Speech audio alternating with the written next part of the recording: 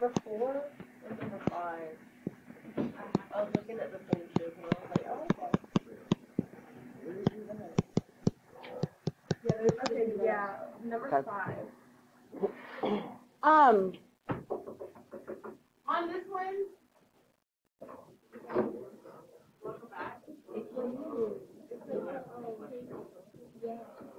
And I, I literally don't really. We just said that we're almost done with this unit. We're, um, we've got one more section that we're gonna cover tomorrow, and we will only spend one day on that. Um, and it's not even a whole section, it's the last part of this section, and that's all we'll do.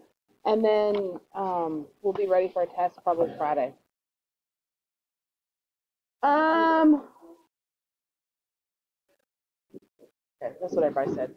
Um, if I cross multiply on this one, I multiply both sides by y and both sides by dx, I get y dy equals x dx, and I integrate.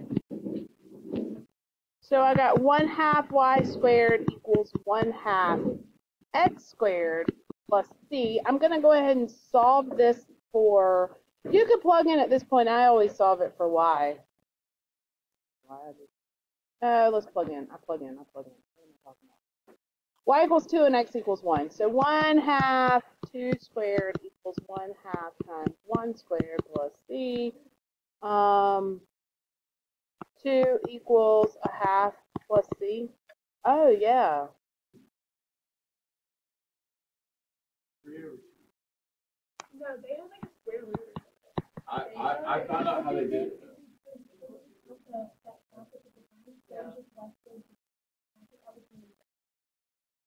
No, no, I'll show you how to do it. Keep going. I see what you're saying because I disagree with that. I got that, but I was like, because I was like, oh, I'm so dumb. No, they distribute, they, they distribute the, the. Number one.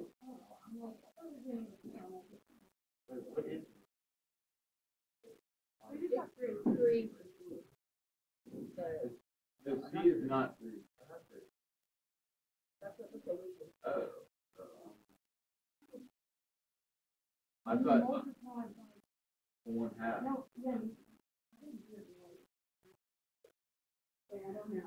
I thought I got the same thing. Okay, so what'd you do? Yeah, that's what I did. That's what I did.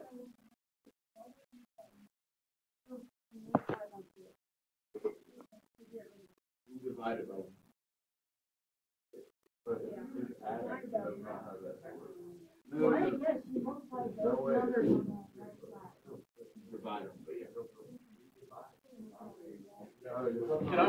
me plug in. Let me plug in for C and see if we come back. You should, yeah, yeah. I'll get. So now if I multiply everything by two, I get x squared plus three. Yeah.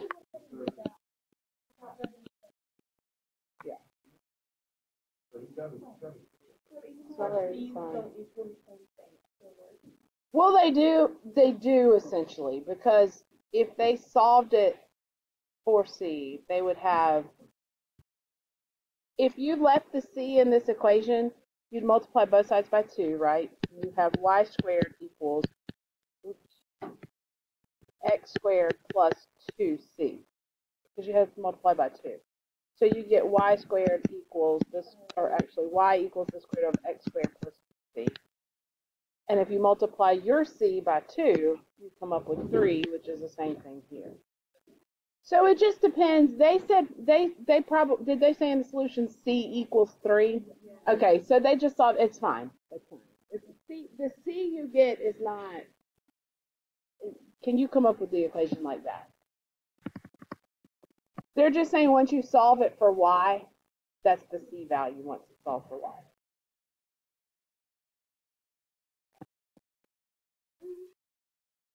Well, Joyce asked the same question, and I, I couldn't answer it because I was.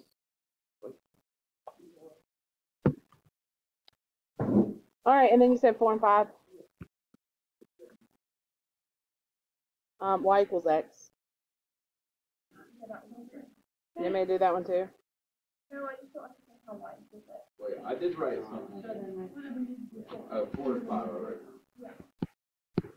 All right, so dy dx equals y over x when y equals 2 and x equals 0. Um, I'm going to cross multiply here, I think, first. And then I'll move everything the way it needs to be moved, but I just want a single equation. All right, I need the y's to go with the x's and the x's to go with.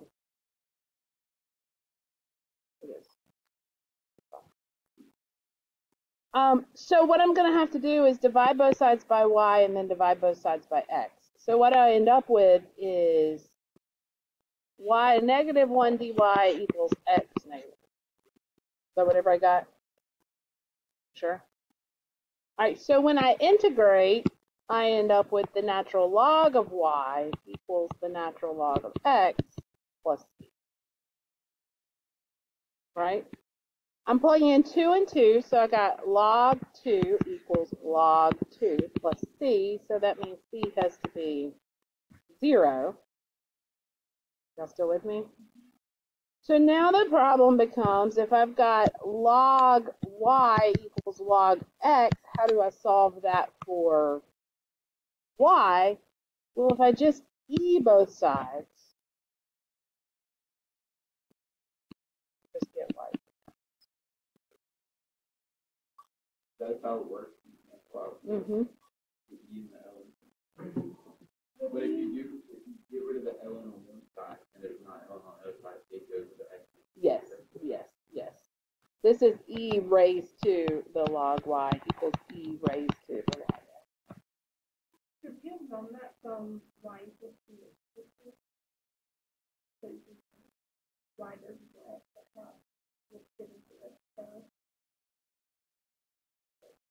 Uh, no, right. Those glasses are cute. All right, number four.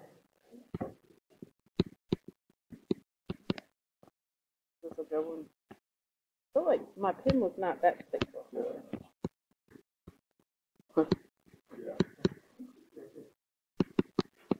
All right, let's get them together. I'm going to divide by y and multiply by dx. Is that confusing anybody if I do those two steps at the same time?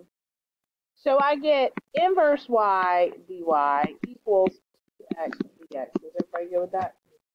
All right, integrate.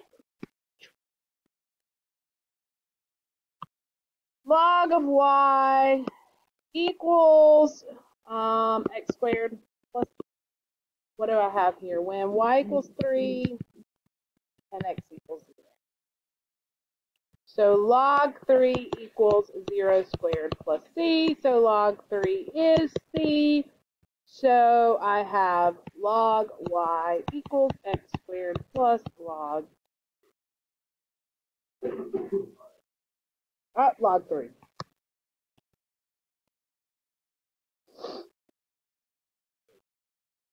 Who's number 13? You get a gold star today. Where's your phone? Well, I'm lost over the the.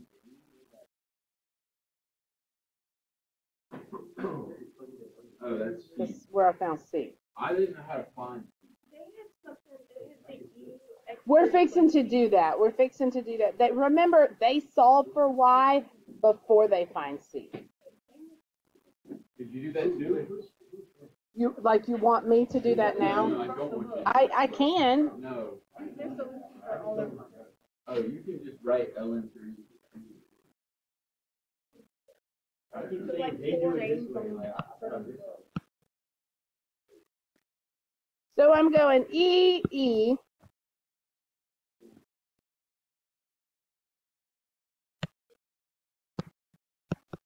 Now, this is another one of those kind of problems where I'm going to split it up, which is probably what they did, because the e and the log cancel each other out, and I know that, right? So I've got e to the x squared times e to the log 3. Well, what is e to the log 3? It's just 3. So I get y equals e to the x squared times 3. Yeah, 3 e. I didn't really know how to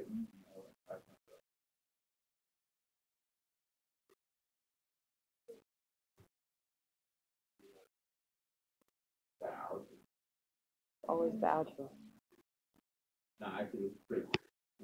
You think this is hard? And five, okay. Oh, okay, yep. Oh, I wrote down what. what is Okay, they had, they had A, like area. Like they had A equals three. On five? Four. Yeah, it's And just then multiplied, you don't have had to. Three equals A to the E, wait, A, wait, three equals A E, exponent zero, exponent squared. Yeah, I was a little bit. It was. Oh, this, Sometimes, like what is S? I have no idea. All real numbers. I mean, that's what I think they put a var, maybe they held the place of something with a variable there. I think they make things so complicated sometimes when they're really just not that hard. That's my opinion. I do the way that makes sense, that is justifiable and makes sense. They'll do things that are.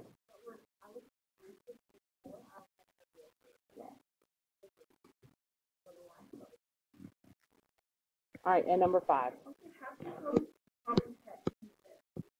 They calculus loves an e and a log.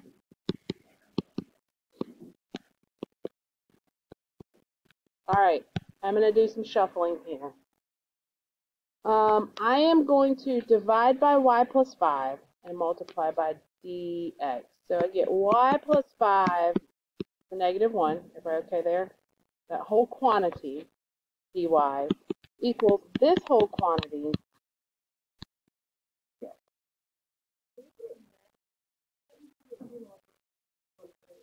You can think about a u substitution situation. So here, if I let u be y plus 5, then du is dy. So really, this is the integral of u to the negative 1 du.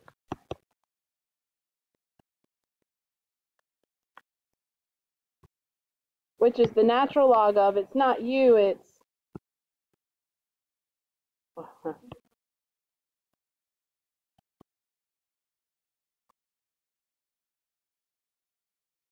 I don't have to have the absolute values here, and the reason I don't have to have the absolute values here is because in the beginning, my domain, we won't. Okay, we'll talk about that a little bit later.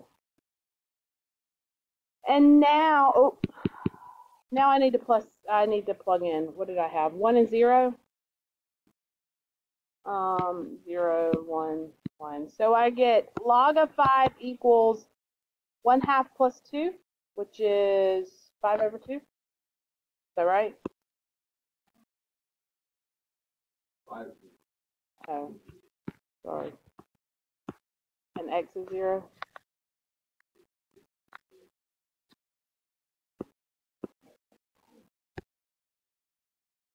All right, so now I have log y plus 5 equals gross.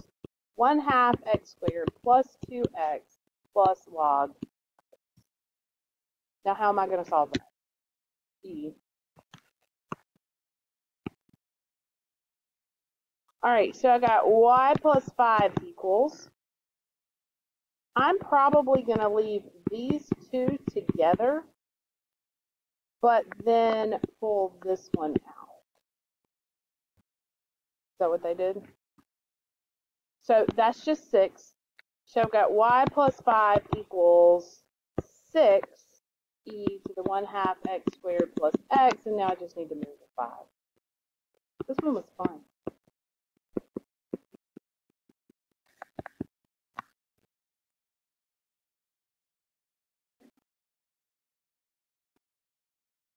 Appreciate your honesty.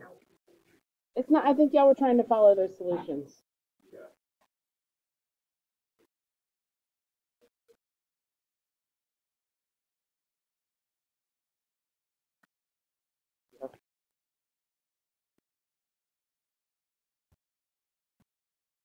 What else?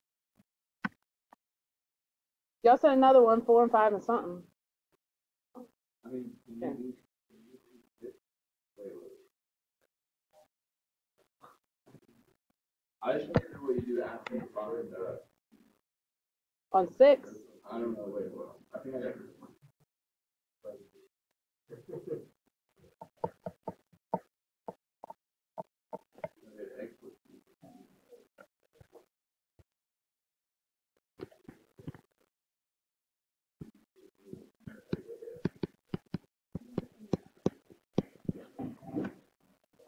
Um, I'll make this cosine, and I'm gonna write it like this so you can see it a little bit better.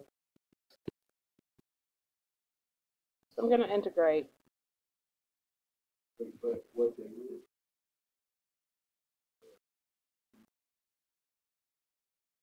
But,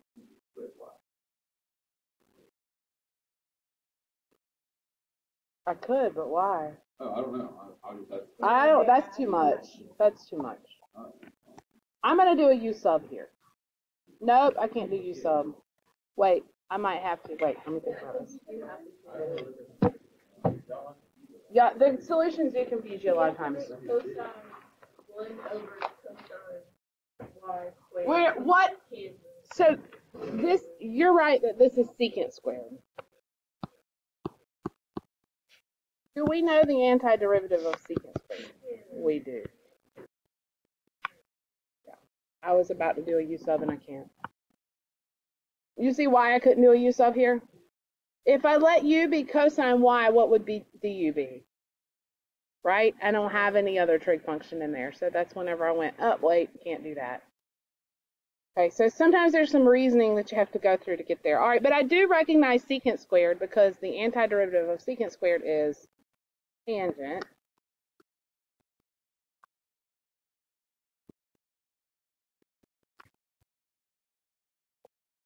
I just changed cosine. Yeah, because this is 1 over cosine squared. And cos 1 over cosine is secant. Where's Sophia? Oh. All right, I'm going to plug in. Hi, Sophia. No, because if we're taking attendance, it just dawned on me while y'all were writing that. Maybe y'all might know. Um, zero and zero. So tangent of zero, here's what y'all hate.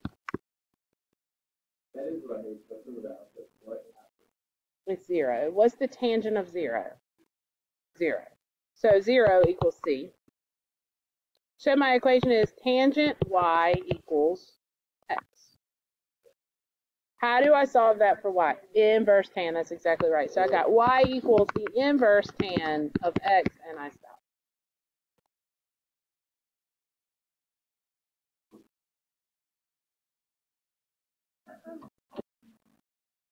What else?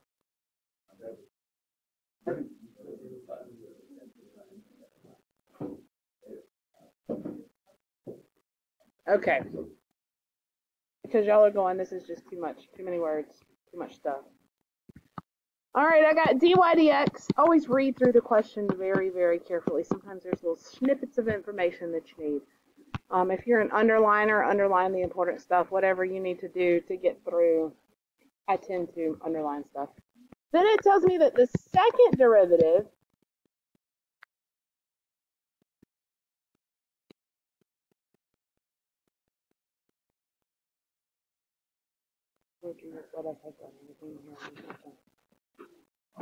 I just searched for I just searched for derivative problems. Okay.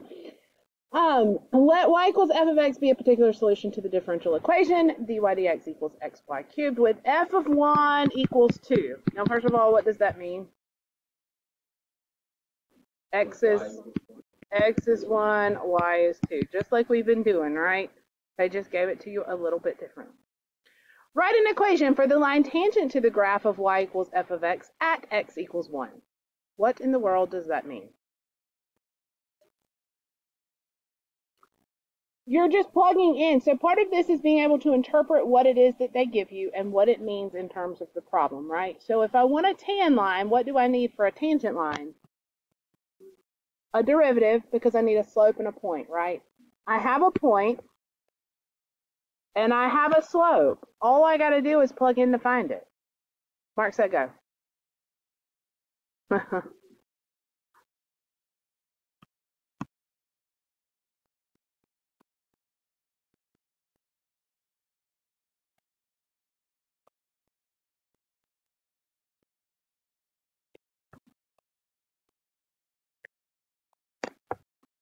Most of the time in calculus, you'll see the equation solved for y, but not simplified or distributed or anything of the sort. We just say y equals and we go from there, but we do move that y2 over. You don't have to by any means.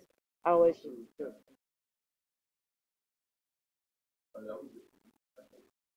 The slope.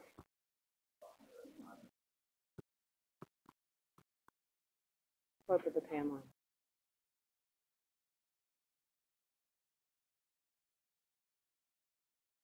So nice, right? That's part A of an FRQ from an actual old test that you could do no problem already. Yes? Easy peasy. That would probably be worth, I would say that's probably worth two points, probably a point for the slope and a point for the equation. It's probably a two pointer. Probably, that's usually about the least they do is a two point. Then part B, the big one is the one in the one C. That's why se- several of these I got a little dot by the ones that were like the the heavyweighters. You know. Um, use the tan line equation from part A, excuse me, to approximate f of 1.1. This is given that what you do or don't. That was a, I think that was what,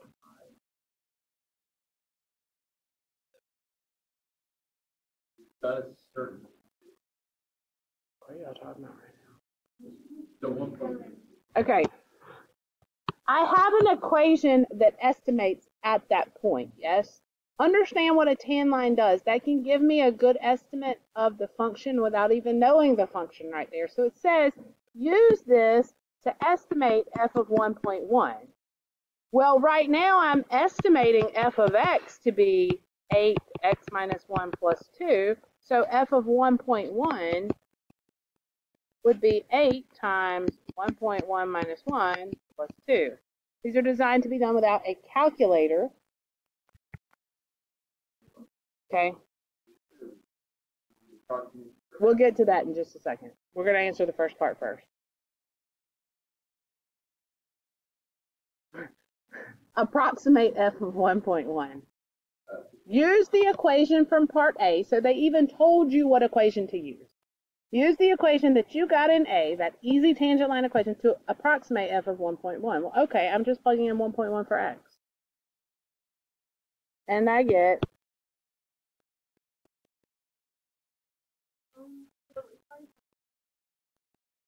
you would get as no. Mm-mm, mm-mm. If you use if you use if you mess up on one part and you use your incorrect answers from say part A to answer part B, if you do part B correctly, you're not going to lose those points. Oh, most of the time we don't go back to a part A or a part B to answer. This is kind of rare to do that. Usually they're independent problems.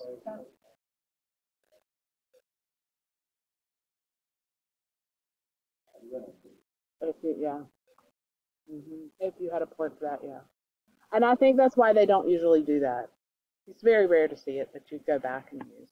A lot of things you can use some of your answers from from before, but most of the time you don't need them. All right, find the oh no wait, I gotta finish. Given that f of x is greater than zero, what does that mean? Let's break this down.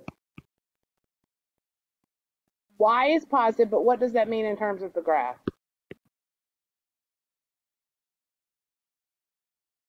That just means I'm up here, right? I'm just above the x-axis. Let's keep that in mind. So f of x is bigger than 0. And anytime I'm between 1 and 1.1, so now I'm talking about this little area, like right here. Nope, 1 and 1.1. If this is 1, we'll say this is 1.1. I'm talking about this little area, and I've got to be I've got to be above the axis here, right? Because it said I'm positive. Use the approximation for f of 1.1 greater than or is the approximation greater than or less than f of 1.1? Explain your reasoning.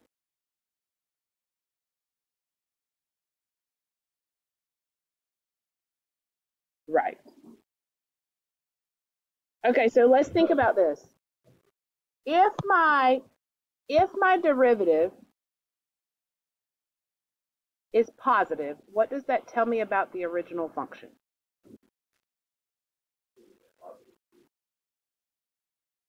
What do you mean about positive? It's increasing. It's going up, right? So I've got this somehow this increasing function. I don't know exactly what it's doing, but it's increasing, right?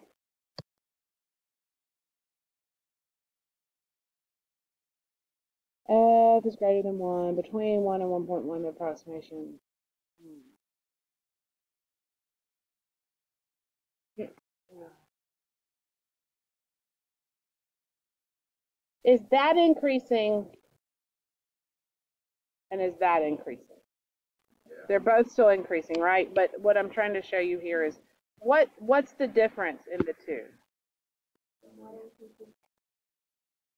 Well, they're both increasing the whole time, but what's changing about them? This not the The slope. What's it called? The second derivative. What's it called?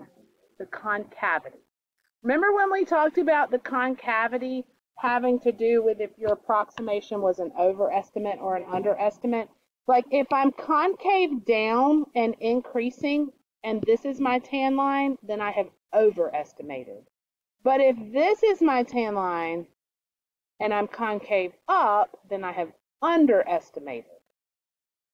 Because it's always below the graph, it's always above. So that's a good thing to write down somewhere if you've forgotten. If I am increasing and concave up, okay, so that's this, and I always have to draw it out to see it. I can never remember, but all I have to do is draw one simple little example and I'll remember. Then my tan line is an underestimate, and you will have to use this to justify. Like, this is what we will say. Because the second derivative is bleh, the function is concave, bleh, which means this is an over or underestimate. And if I'm increasing but concave down, suddenly we see why they gave us the second derivative. Right? Or do you see why they gave us the second derivative? We got to check the, we know it's increasing because the first derivative is positive. So that puts us in one of these two. Now we need to know is the second derivative positive or negative at that point? What point am I looking at? Well, I'm still looking at that point 1, 2. Because that's what we're, because that's the point we used for the tan line. So that's where we're at this point point one two, and we're using this line to estimate 1.2. Right? So what I want to know is when I do that, is that going to be an overestimate or an underestimate? And to know that, I need to know the concavity. So I'm going to come back to my problem. And I'm going to say, well, second derivative at 1, 2 is 2 cubed times because that's my tan line point.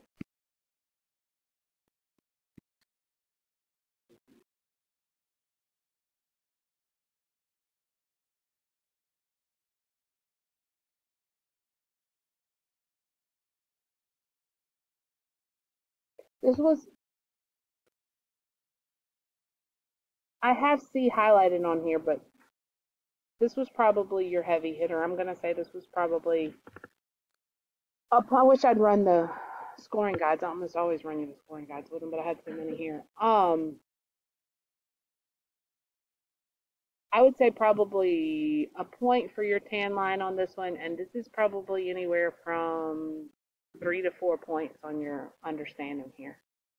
You'd probably get a point for knowing to plug into the second derivative, just for knowing to use it, and getting, let's see, what is this? Hey, I don't even have to finish doing it. I could come here and say, I know that this is going to be positive, right? I don't need an exact value. That's irrelevant. I just need to know is it positive or negative. What does that tell me about the function at that point? Concave up. So right now I know that the function is increasing, and maybe I say f of x. Maybe I say at 1, 2. f of x is increasing because dy dx is greater than 0 and concave up because the second derivative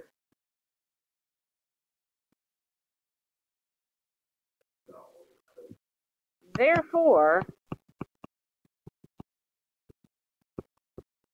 f of 1.1 is a what? Concave up and increasing here. Yep, underestimate. I told you I have to draw. It's not that it's a bad estimate, it's just that I know anything on that line falls below the curve. So anything I get, the actual value is going to be a little bit higher.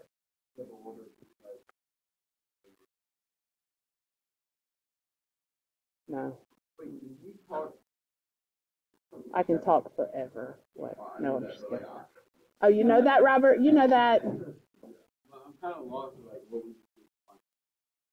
Okay, so when we talk about underestimate or overestimate, we're talking about we have to look at increasing, decreasing, which comes from the first derivative. But we also have to look at concavity, which comes from the second derivative, because that determines, I mean, what if I was decreasing the whole time? Now, this is the flip situation. If I'm decreasing and I'm concave up, I'm an underestimate, right? Because I'm falling below. And if I'm concave down, I'm and decreasing, then I'm an overestimate. So it depends on those both of those things. Does that make sense?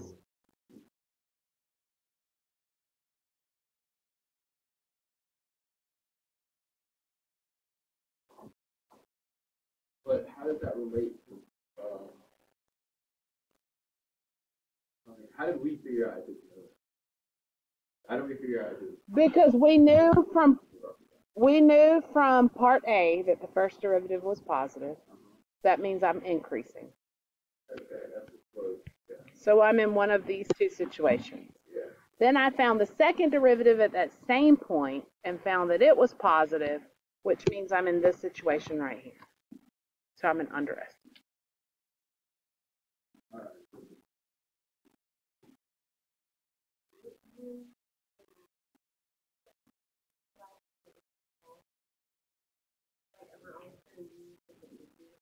Yes, yes. I've never seen, they don't throw frivolous information in there. All right, I want you to try part C on your own and then we'll come together.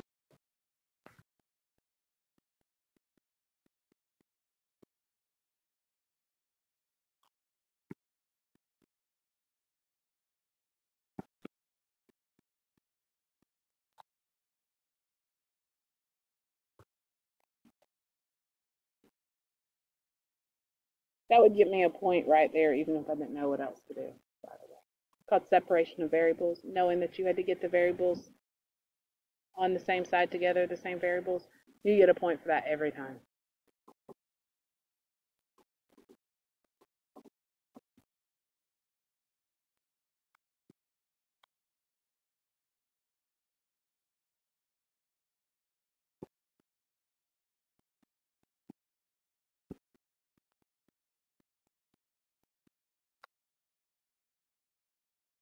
This also will almost always give you a point.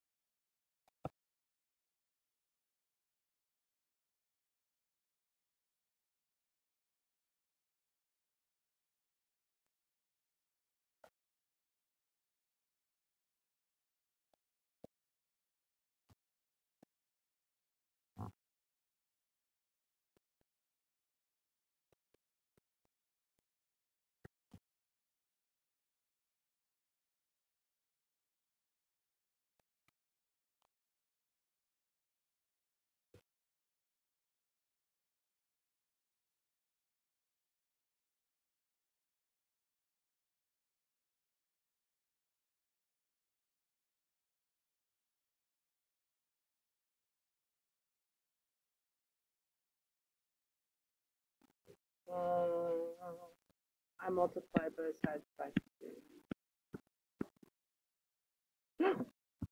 Oh my gosh, Stacy.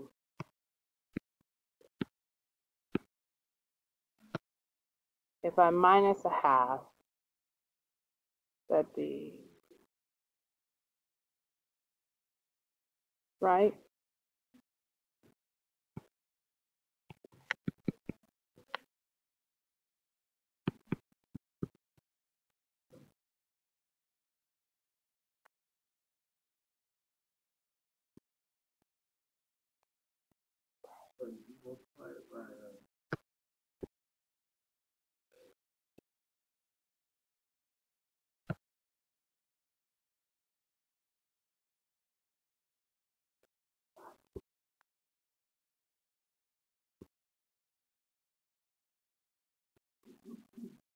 Better.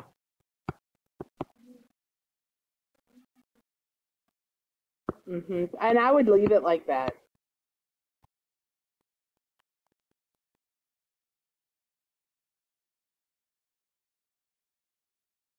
I times everything by negative two, right? Which cut all my hmm can you No, now how do I get rid of the exponent? I raise both sides to the negative one half.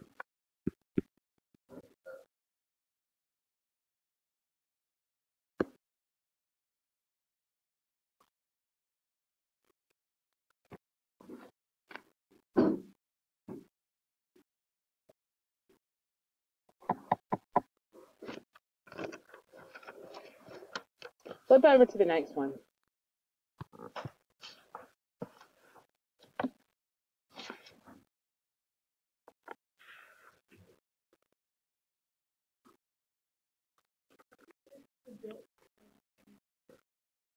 roughly 15 minutes a question. But, I mean, you can, if you finish, they're not, you don't get them one question at a time. You get the four, non-calculator and the two calculator, and then you, yeah. Do it like. Yes, yes. Some of them you will breeze through, and others of them, that's why you should go through and answer what you know.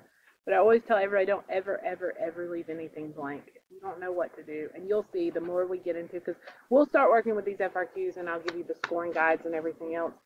You get the randomest stuff will give you a point here or there, and it could be the difference in making a three or a four or a two and a three just by having little. So I always tell everybody, take a derivative of something somewhere integrate do something, right? Something you know how to do with the equations that are given, and just, I mean, it's a shot in the dark if you don't have any idea, how, but you might get a point somewhere. All right, so look at number five.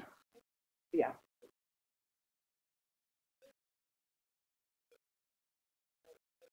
Because it said find the particular solution.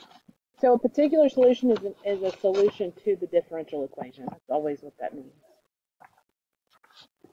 All right, so I want you to try at least A and B on your own for number five.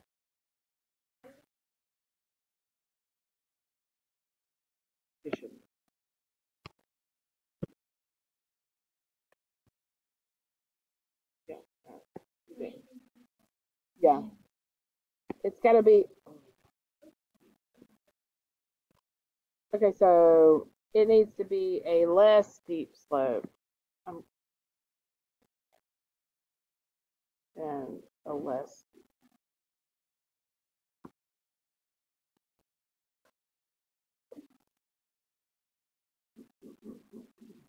Right, are we okay on slope fields on how we find those for each of those points? And we're just plugging in that dy dx to find the slope and then just kind of sketching.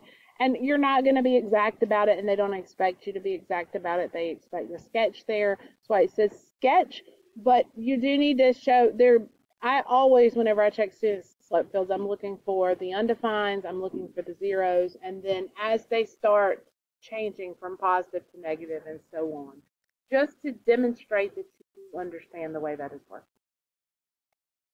All right, part B. Have y'all gotten there yet, or you need a minute?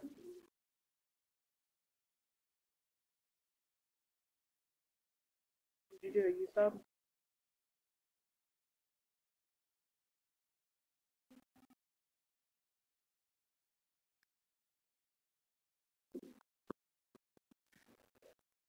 All right, find the particular solution. So somebody asked earlier, how do we know that that means solving the differential. Anytime you see find the particular solution, we're talking about solving, especially if I'm given a differential equation, I'm talking about a separation of variables and finding y. So here, I have dy dx equals y minus 1. And guaranteed, if you're given a differential equation to start with, at some point, you're going to have to solve. Okay.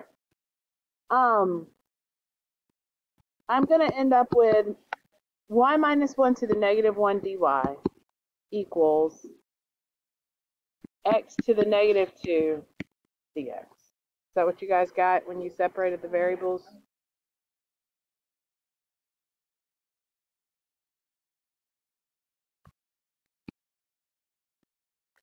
Remember, this is half the battle. They they reward you for doing that, for getting to that point of just separating them or knowing to separate them.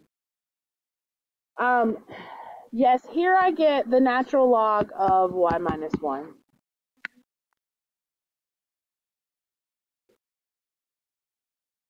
So it's absolute value. hmm That's right. Remember whenever we first did that? That's where it's going to come. Yeah. Um, this is going to be negative one third. And now I am ready to plug in.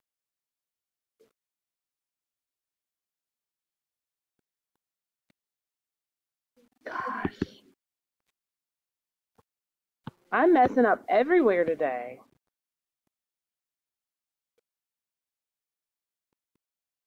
Worry about y'all's blog questions. Okay. But Robert is right. Um, if you look at your sheet, this is always an absolute value here. We tend to drop it off a lot of times when we write it, but sometimes that does come into play like here.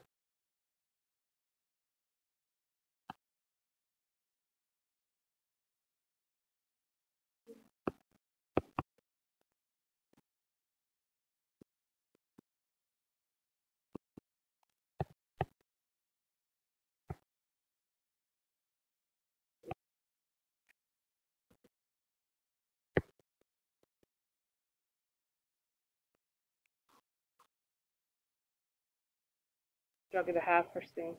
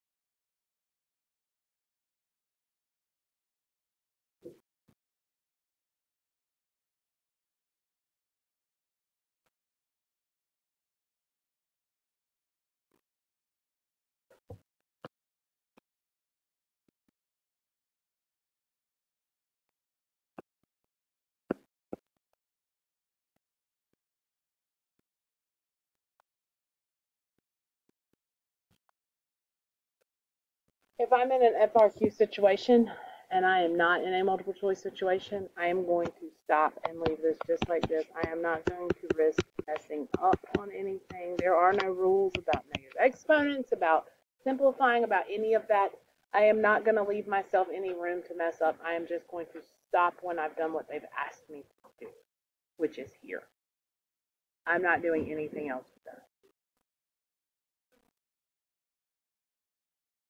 Well, so that's good to do. Like on multiple choice, you'll have to do that because they'll they won't have it. You know what I'm saying? But in a time situation on an FRQ, I'm leaving it. I mean, I'm not gonna say as complicated as I can, but as much as I can. Robert, he was sleeping sitting straight up.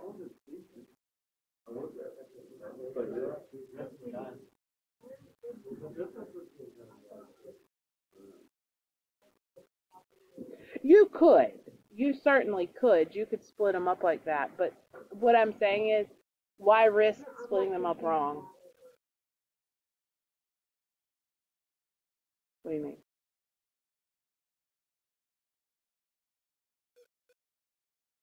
Well, you're doing e to and both. You're doing e to this whole side when you do it. So you're taking everything on that right side, making it an exponent on e.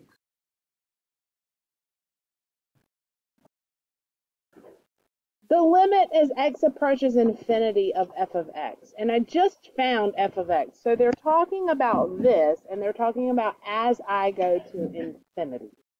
So here's those thinking limit questions again, right? I'm going to assume there's an asymptote somewhere on this one if I have to guess. Um, but if I put infinity in here, right, and I and, and let's just think about it. E what?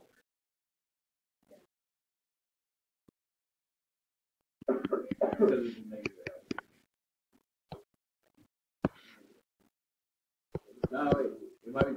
Okay.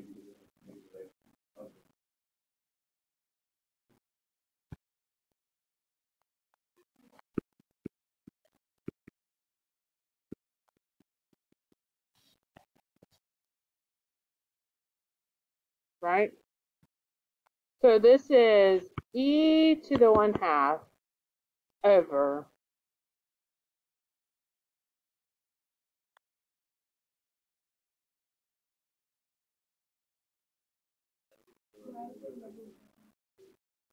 that there's a negative exponent on the infinity itself. All right. Well, let's think about it though. What happens if if I take okay, that that's a really small decimal. That's actually going to zero. So if that's going to zero, this whole bottom's going to zero. Right? So it's just one. It's going to zero, but that doesn't mean that it's zero, right? It just means it's getting closer and closer to zero. So yeah, I would say that the limit to this one is one. Yeah. So that's just going back. That would probably be a little one pointer there. Can you evaluate the limit?